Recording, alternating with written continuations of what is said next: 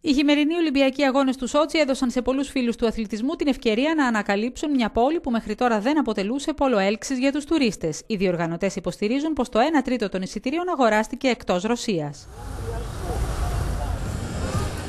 Επισκέπτες αλλά και κάτοικοι απολαμβάνουν τον καλό καιρό σε απόσταση μόλις 50 χιλιόμετρων από τις χιονισμένες βουνοκορφές του Καυκάσου. It is very strange. It seems. Uh... Είναι πολύ περίεργο, μοιάζει παράξενο να βλέπουμε φοινικόδεντρα και γαλανό ουρανό και να μην χρειάζεται να φοράμε καν παλτό και αύριο θα βρεθούμε στο χιόνι. Uh, we'll be in the snow, so yeah. Ναι, είναι πολύ περίεργο. It seems very strange.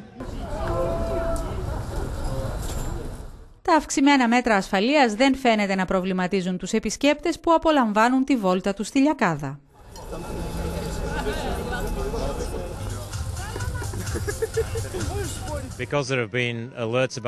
Ακριβώς επειδή υπήρξαν συναγερμοί για ενδεχόμενα τρομοκρατικά χτυπήματα, θα μου προκαλούσε απογοήτευση αν δεν είχε αυξημένα μέτρα ασφαλείας. Πιστεύω πως είναι λογικό όταν βρίσκεται κανείς σε μεγάλα γεγονότα να του γίνει έλεγχος.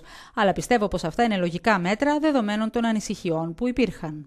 Honnêtement, par rapport à tout Ειλικρινά, σε σχέση με όσα είχαμε ακούσει στην Ευρώπη, στη Γαλλία, πιστεύω πως η ασφάλεια είναι σε καλό επίπεδο και δεν υπάρχει ενόχληση. Για να μπούμε στο στάδιο υπήρξε έλεγχος. Εκτός από αυτό όμως δεν είχαμε κανένα πρόβλημα στο επίπεδο της ασφάλειας. sécurité.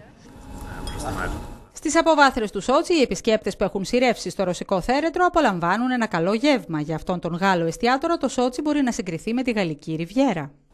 Vraiment, à Sochi, en ce moment, euh, bah, c'est- c'est- Πραγματικά στο Σότσι αυτή τη στιγμή είναι πολύ όμορφα. Έχει πολύ κόσμο, γιορτινή ατμόσφαιρα. Είναι καλά. Είμαι χαρούμενος και οι δουλειές πάνε πολύ καλά επίσης. Το Σότσι φιλοδοξεί να αναδειχθεί σε νέο περιζήτητο προορισμό.